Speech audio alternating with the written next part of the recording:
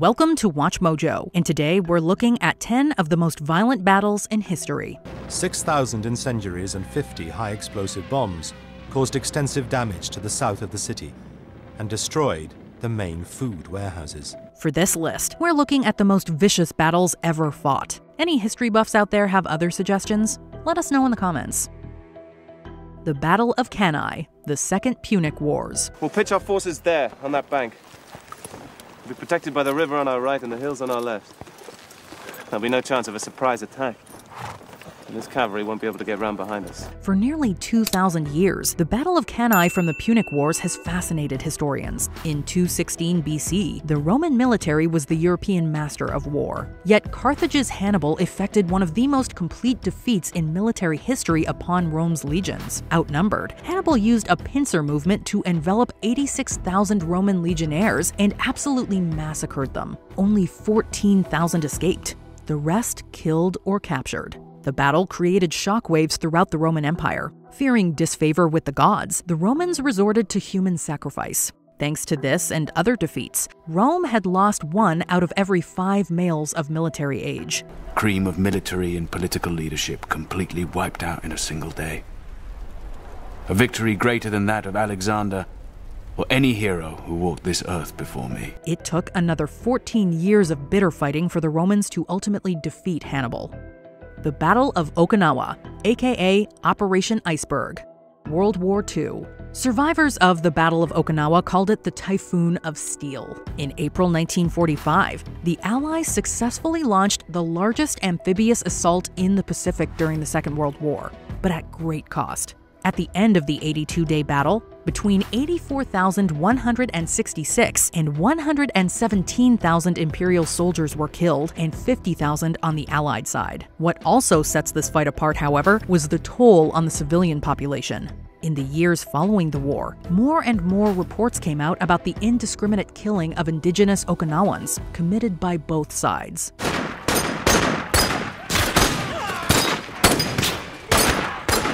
The Japanese convinced many to take their own lives by claiming that the Americans would do worse. Some estimates have the island losing half of its pre war population of 300,000.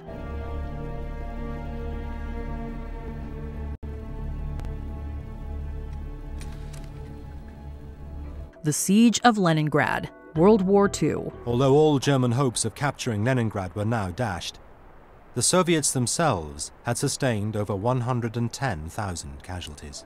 The siege of Leningrad lasted for 872 miserable, blood soaked days. From September 8, 1941 to January 27, 1944. The city's capture was one of the prime objectives of the Nazis' Operation Barbarossa. Hitler wanted to destroy the city and give the land to his allies, the Finns. They looted and razed cultural landmarks and buildings. However, fierce resistance stopped the Axis forces in their tracks. They've just gone 900 miles and they are almost to Leningrad and they're down to one motorized formation. Unfortunately, while the Soviets managed to resupply where they could, starvation ran rampant. Many modern scholars consider the siege a genocide. Over a million soldiers were killed, and over a million civilians. The Battle of the Somme, World War I. This battle is still remembered bitterly to this day. A combined force of British and French soldiers intended to achieve a swift and decisive victory over the Germans in France in the summer of 1916. They bombarded the German position for a week with artillery. As our infantry advanced, down came a perfect wall of explosive along the front benches of my brigade and the 93rd. It was the most frightful artillery display that I'd seen.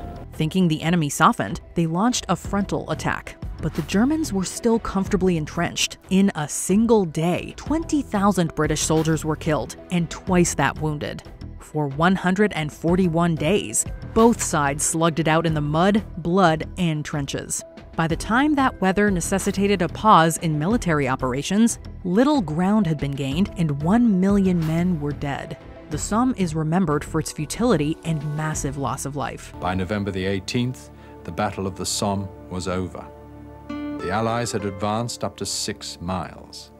Each mile had been bought by over 100,000 casualties.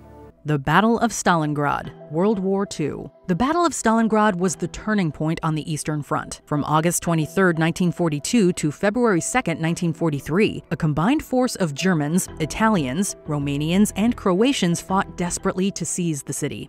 Stalingrad had strategic significance as an industrial and transport hub, but the stakes were also ideological, given the city's importance to its namesake, Soviet leader Joseph Stalin. The battle was fought street by street, sometimes even hand to hand.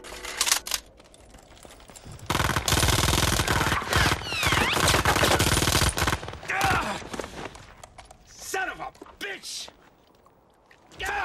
Germany's inability to resupply so deep in enemy territory proved too much. In February of 1943, the German Sixth Army surrendered. The casualties were enormous, roughly 1.1 million on the Soviet side and 800,000 on the Axis side. The ground was littered with corpses and decimated German war machines. And the endless columns of hundreds of thousands of German prisoners.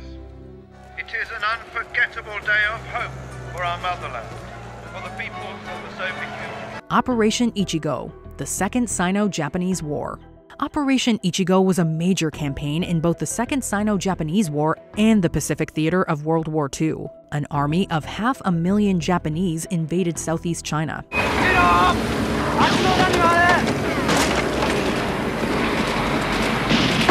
Japan had several goals. They wanted to destroy air bases being used by American bombers, topple the Chinese governments, and avoid American submarines in the South China Sea.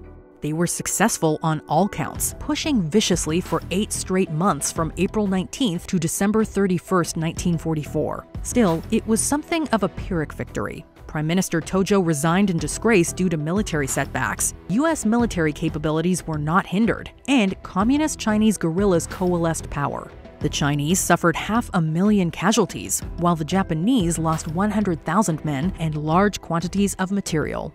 The Battle of Berlin, World War II. One more. You sure? Yeah. After a long and costly war, Joseph Stalin wreaked bloody vengeance on Germany in April of 1945. The Red Army brought 2.5 million Russian and Polish soldiers to bear against the remnants of the Wehrmacht. The German Defense Forces, supplemented by police and Hitler Youth, numbered approximately 750,000. For two weeks, the Soviets rained destruction on Berlin as they surrounded the city.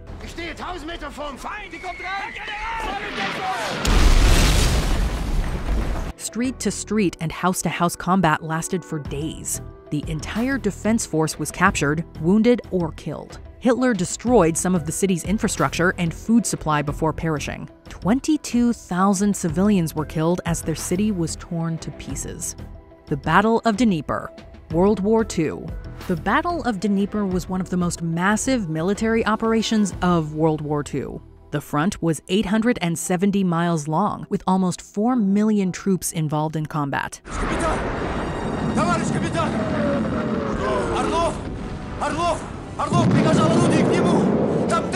Over four months from August 26th to December 23, 1943, the Red Army bitterly clashed with the Wehrmacht and Romanian forces. At stake was control over the east bank of the Dnieper River and the Eastern Front. Both sides launched attacks and counterattacks by air, land, and on makeshift rafts. After losing 372,000 soldiers to death, injuries, disease, desertion, or capture, the Germans retreated. The Soviet casualties, even in victory, were staggering 2.2 million wounded or sick, and 760,000 killed or missing.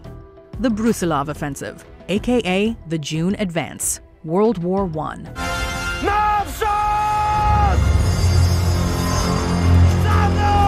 In March 1916, Russia suffered a disastrous defeat during the Lake Narech offensive against the Germans. General Alexei Brusilov wanted to turn that around. Desperate for a victory, the general begged his superiors to let him lead an attack.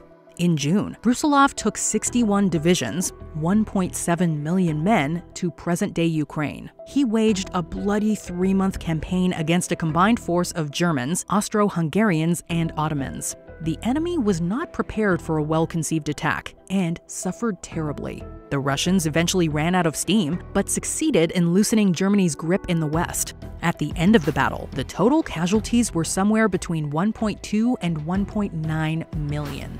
The Russian army and Austro Hungarians were effectively crippled for the rest of the war.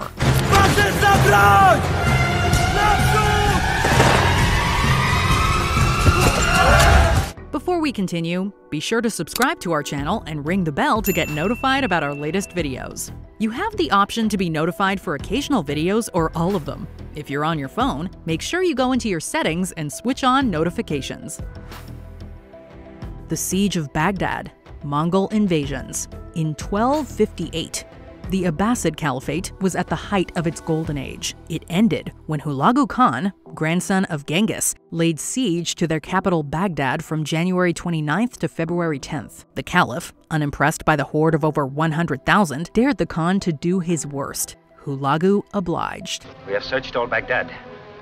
The Caliph has escaped. Find him. Every day until he dies. The Mongols pummeled the walls with catapults and conquered some of the defenses. The Caliph tried to negotiate, but Khan murdered 3,000 envoys. The next week was one of the most violent in human history. The Mongols slaughtered hundreds of thousands of men, women, and children. Accounts claim that the Tigris ran black with the ink of destroyed knowledge and red with blood. The numbers are debated, but historians believe the Mongols killed between 250,000 to 2 million people.